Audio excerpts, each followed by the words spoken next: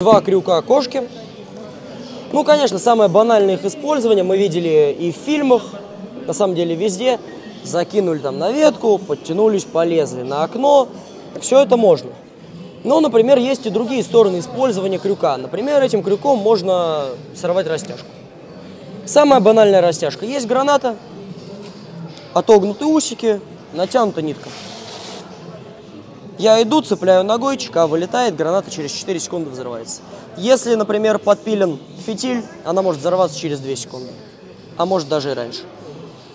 Да, такую гранату легко разминировать. Я увидел растяжку, я аккуратненько срезал леску, все, граната теперь можно сказать моя.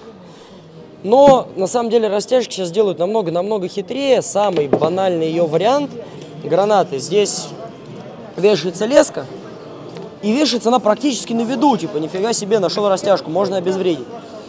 А здесь крепится к чеке резинка. Я обрезаю видную леску, резинка выдергивает чеку, все, граната также взрывается. На самом деле, таких вариантов море. Именно поэтому растяжки обезвреживают лучше взрывом заряда.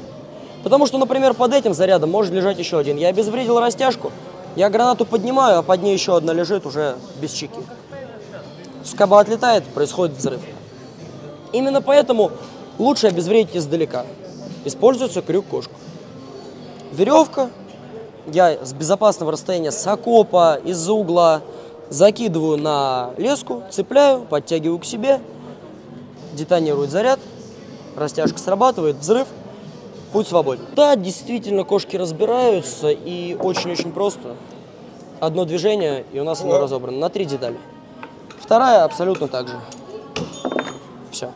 А это типа ключи, да? Их можно использовать как гаечные ключи, наверное. Э, Никогда не пробовал, но используется это все очень просто. Я собираю обратно крюк-кошку, и чтобы он не разбирался во время использования, я провязываю веревкой. Мгм. Здесь вяжется узел, и дальше уже идет сама веревка, которой я, собственно говоря, и пользуюсь.